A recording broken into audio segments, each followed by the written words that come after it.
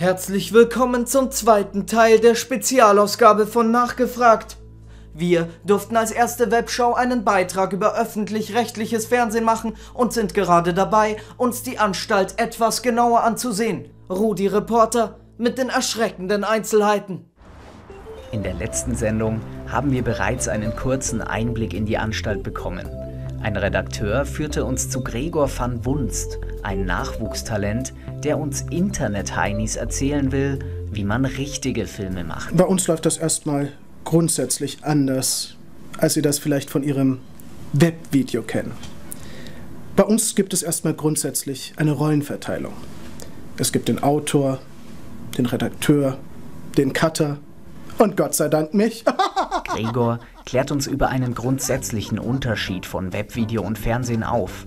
Während bei Webvideo meist dieselben Leute schreiben, spielen und produzieren, kommen beim Fernsehen die Ideen von Autoren und wandern über den Redakteur zum Produzenten, der noch einmal alles umschmeißt, bevor das Skript dann über einen weiteren Produzenten und Thomas Gottschalk zum Regisseur gelangt, der es völlig neuartig und künstlerisch umsetzt. Der Autor von Gregor van Wunst wollte beispielsweise einen lustigen Film über einen Veganer, der in einer Metzgerei arbeitet, machen.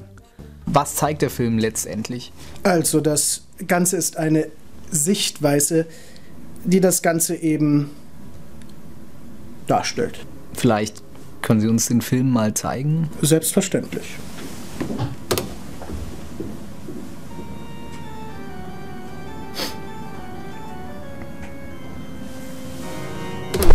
Und was hat das gekostet? Ungefähr 150.000. Wie bitte? Ach so.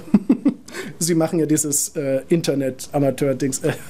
ähm, das, das Ganze hat etwas mit dem Aufnahmeverfahren zu tun, aber das ist etwas, was Sie nicht verstehen können. Vielleicht können Sie es mir erklären? Wir haben das Ganze aus dem Helikopter gefilmt.